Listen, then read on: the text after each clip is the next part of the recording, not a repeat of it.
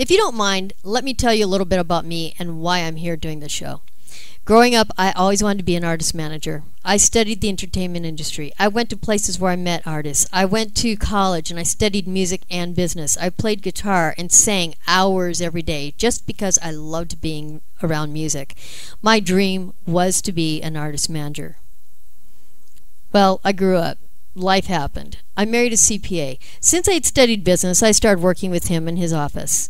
I continued going to school in the evenings, studying music and business. I taught guitar lessons on the weekends. Six years later, I got pregnant with triplets.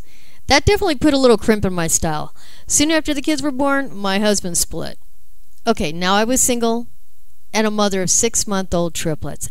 And the only thing I could do was continue doing what I've been doing for the past six years accounting and business management.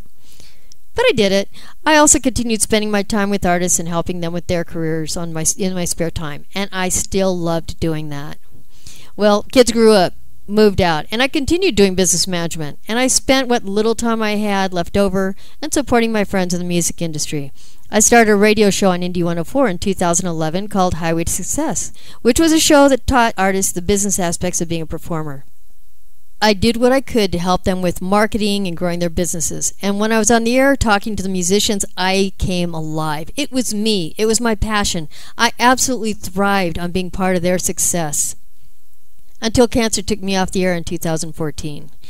And when I found myself in a position where all I could do was lay there and think about what was really important to me. It was one of the best things that could have happened to me. I thank God that I went through that and was able to stop living in such a busy lifestyle and to focus on what I was really created for. The cancer left me in a position where it was all but impossible for me to continue on the same path that I had been on. I had to make a career change. And when I looked back at my life and what really made me happy and what was really important to me, I realized that I needed to be working with people one on one and supporting them into success. It's what I was made for, not sitting in front of a computer punching in numbers. I've done that my whole life, and I did what I loved pretty much as a hobby. But the time I did spend with musicians doing what I love to do, I felt the most alive.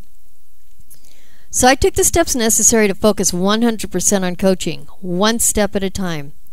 And today, for the first time, I'm back on Indie 104 doing what I love to do working in the industry I love to work in, and changing the world one client at a time. So, how wonderful is that? So, why am I telling you this story? To tell you that life is not always a garden of roses. It hands us some pretty bad hands sometimes, like cancer. And the results of that bad hand can either be negative or positive.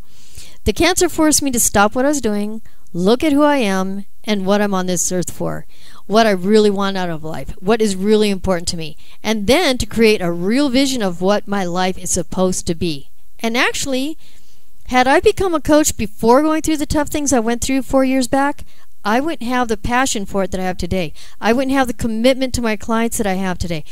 And I wouldn't be here on Indie 104 today talking to you and telling you, come on, let's do this. I know you can do it. I believe in you with conviction that I can have today because of my experiences.